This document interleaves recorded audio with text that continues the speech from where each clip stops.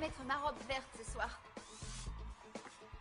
Euh, c'est par ici que ça se passe Attendez, il me faut la tenue parfaite.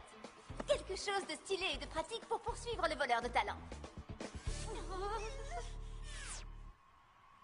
Euh, enfin, je veux dire pour dénicher de nouveaux talents.